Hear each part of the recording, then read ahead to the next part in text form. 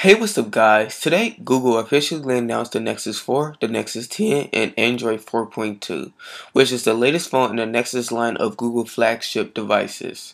The Nexus 4 is built by LG, and the phone will feature a 4.7-inch 1280 by 768 IPS display, a 1.5 GHz quad-core Snapdragon S4 Pro processor, an 8 megapixel camera, and a 1.3 megapixel front facing camera.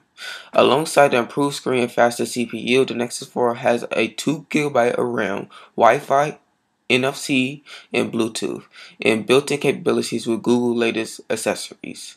The phone will also have a 21 milliamp battery, which the company claims will get you about 10 hours of, of talk time and the device will sell for 299 with 8 gigabytes of storage or 349 with 16 gigabytes and will be released on November 13th.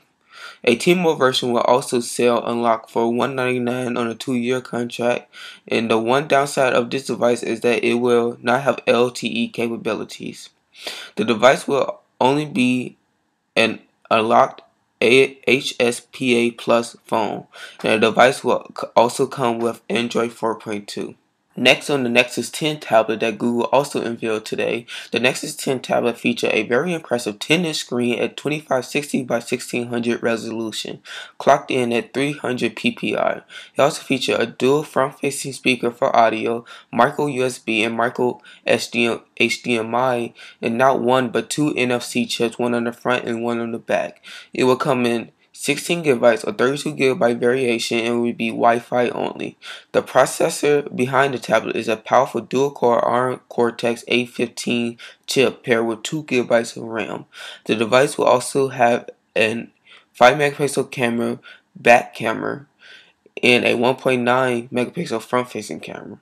The battery has an 9 9000 megahertz milliamp capacity, which Google says should be good for up to 9 hours of HD video playback. The device will also come with stock Android 4.2 and Google is selling the tablet for 399 for a 16 gigabyte version and 499 for the 32 gigabyte version, $100 less for the 32 gigabyte iPad. Lastly, Android 4.2, which is shipping with both of these new devices, will come with a lot of new features, like be able to add widgets to the lock screen and a Photo Sphere panoramic photos, which is a panoramic photo taker but is more in depth.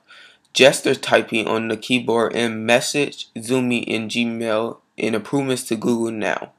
So yo guys, that's pretty much it for this video. Please leave a comment below about what you think about these new devices that Google announced in Android 4.2. And don't forget to like and subscribe if you're not already. Okay guys, hope to see you next one. Alright, bye.